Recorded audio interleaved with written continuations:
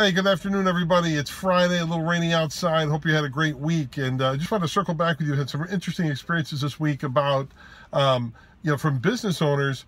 You know, we, we look at small business. We maintain everything today, right? We update the apps on our iPhones. We, we maintain our vehicles. We try to we try to eat right. We're, we're constantly looking at what we can keep up to date and moving forward. But yet, so many small businesses look at their tech, their IT infrastructure, as it's up, it's running, it's not broke, don't fix it. And there's no maintenance put into that at all. And that's where the partnership with a solid IT provider is key because on bid day, when you go to print, it's critical that you do.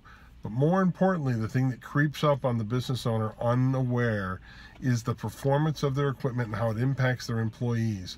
So the largest loss that exceeds any expense that you have from service goes into slow equipment or systems that are unreliable that continue to allow the business to eke out operations, but are draining time from the employee. So what does it do? It creates struggle for them. It decreases their productivity overall and therefore raises your cost invisibly to the organization. So encourage you to take a look at that. Um, and any questions, always inbox me. Have a great weekend.